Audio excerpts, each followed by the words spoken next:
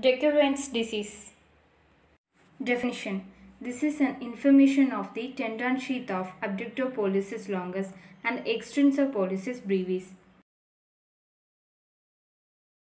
Clinical features Pain at the point of styloid bones of radius, tendon sheath get thickened. On palpation, repetition may be present at some times. Movement of thumb is painful and weakness of grip. Treatment Conservative Anti-inflammatory drugs For restriction of movement, ice massage may given at first stage. In later stage, ultrasound and deep heat modality are given to reduce inflammation and pain.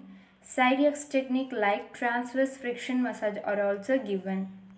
Local corticosteroid injection include a Depo-Medrol and xylocaine. Surgery Splitting of lateral wall of tendon sheath.